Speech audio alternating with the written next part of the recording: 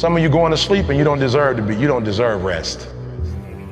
You lazy, you don't deserve rest. Rest is for people who work.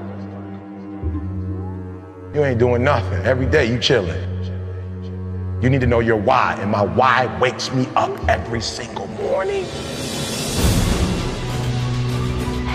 You don't get it. Listen to me very closely.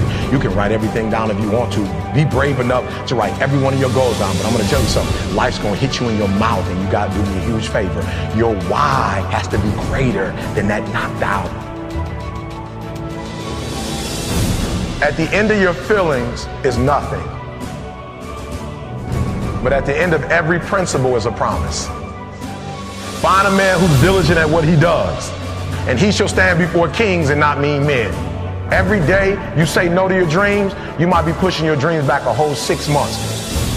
That one single day, that one day you didn't get up, could have pushed your stuff back I don't know how long.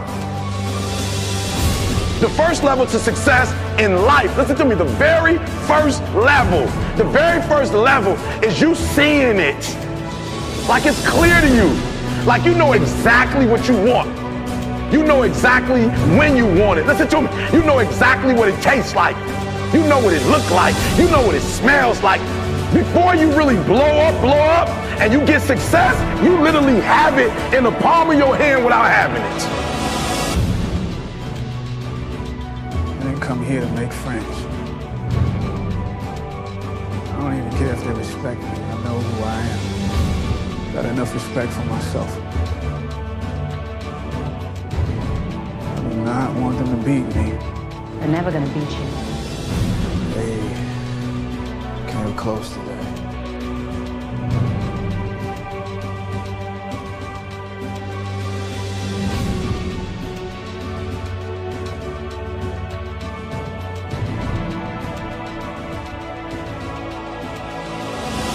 And I'm telling you right now, I'm telling you right now because I care about you. I'm telling you right now because I've been there. I've done that. You've been in it for three years and you about to quit. You've been doing it for five years and it don't look like you think. You put all your money in it.